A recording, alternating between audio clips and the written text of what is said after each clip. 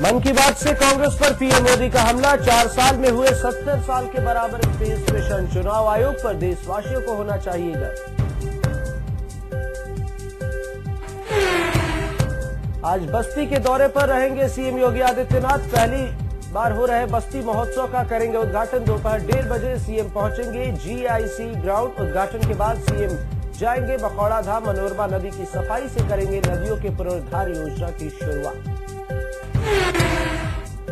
उनतीस जनवरी को कुंभ मेला परिसर में सुबह 11 बजे होगी। कैबिनेट बैठक बैठक में कई अहम प्रस्ताव पर लगेगी मुहर। बैठक के बाद संगम स्नान करेंगे यूपी के कैबिनेट मंत्री।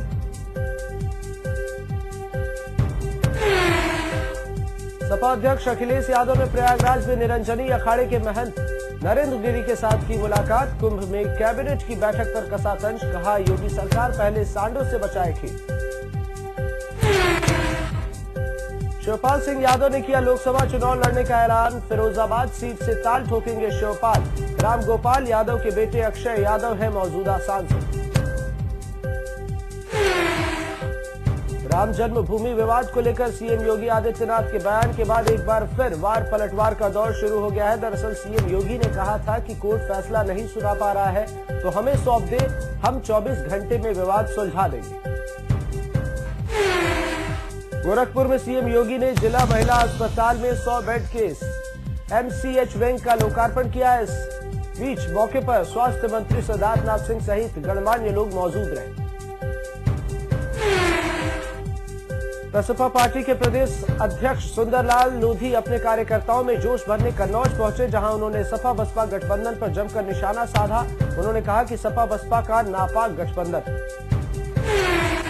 चंपावत में शव यात्रा ले जा रही पिकअप दुर्घटनाग्रस्त हादसे में नौ लोगों की मौत, तेरह लोगों को अस्पताल में कराया गया भर्ती। अमरोहा में पुलिस और बदमाशों में हुई मुठभेड़ मुठभेड़ में सिपाही हर्ष चौधरी हुए शहीद, एक बदमाश की भी हुई मौत। प्रदेश सरकार ने मुआवजे का किया ऐलान, शहीद की पत्नी को मिलेगा 40 लाख मुआवजा 10 लाख असाधारण पेंशन, परिवार के एक सदस्य को नौकरी। अंदरपुर गाँव के पास चेकिंग के दौरान हुई मुठभेड़। मेरठ में दुल्हन को लूट किया गया। समुदाय विशेष के युवकों ने की लूट की वारदात को अंजाम।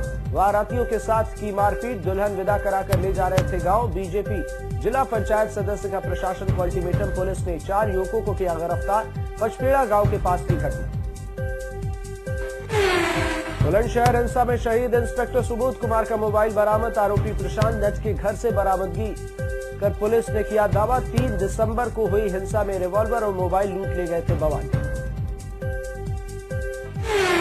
रायबरेली में पुलिस कस्टडी में धूम्रपान करते चोर का वीडियो हुआ वायरल। कैमरा देखते ही पुलिस वालों ने चोर से छीनी धूम्रपान सामग्री। गोरखपुर में प्रियंका गांधी को महासचिव बनाए जाने पर कांग्रेसी कार्यकर्ताओं में जहाँ खुशी की लहर देखने को मिल रही है, वहीं गोरखपुर के कांग्रेसी कार्यकर्ताओं ने प्रियंका गांधी को गोरखपुर से चुनाव लड़ने की मांग करते हुए प्रियंका गांधी का पोस्टर जारी किया है।